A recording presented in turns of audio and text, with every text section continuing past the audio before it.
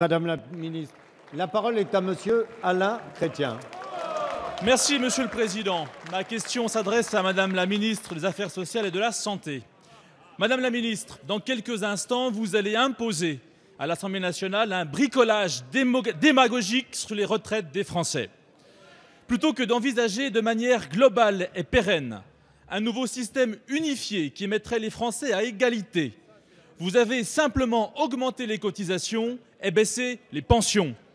Plus 0,3 points d'augmentation pour les salariés du privé, 2,7 milliards d'impôts supplémentaires pour les entreprises et des retraites qui n'augmenteront pas comme prévu au 1er avril, mais au 1er octobre, fragilisant ainsi encore plus le pouvoir d'achat des retraités. Voilà votre pseudo-réforme des retraites.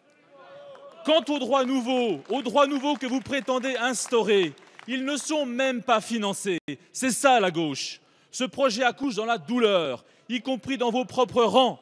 Vous en êtes réduits à imposer un vote bloqué à l'Assemblée nationale, car vous n'êtes même pas sûr de votre propre majorité.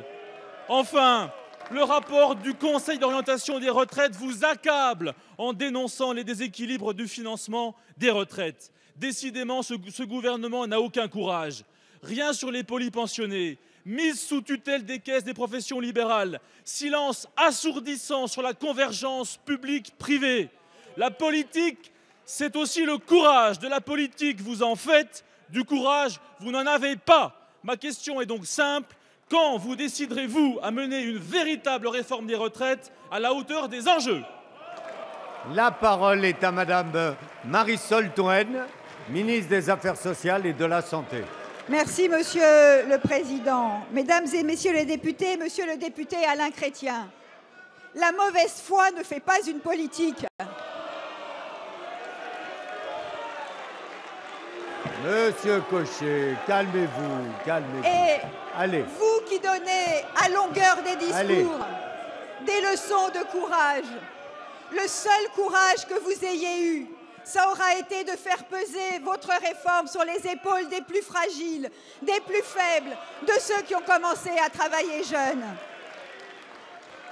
Le seul courage que vous ayez eu, ça aura été de refuser toute prise en compte de la pénibilité, alors que les Français, les organisations syndicales et la gauche vous le demandaient. Le seul courage que vous ayez eu, ça aura été de nous transmettre un déficit abyssal, alors que vous aviez promis de rééquilibrer les comptes de la sécurité sociale et de l'assurance vieillesse. Alors je vous le dis, monsieur le député, je ne reprendrai pas toutes les inexactitudes et toutes les approximations, parce que s'il fallait additionner les inexactitudes, il y aurait de quoi confectionner des colliers de perles pour l'ensemble de cet hémicycle. allez, on écoute la Mais réponse. je vous le dis, nous avons, nous, la volonté, et nous le faisons, d'engager une réforme durable qui permet la prise en compte de la diversité des situations professionnelles. Nous assumons les efforts à demander aux Français, à l'ensemble des Français à travers un effort qui commencera l'année prochaine, l'allongement de la durée de cotisation. Mais pour nous, et contrairement à vous, une réforme des retraites ne peut pas se limiter à l'alignement de chiffres qui, en général, ne tombent pas juste.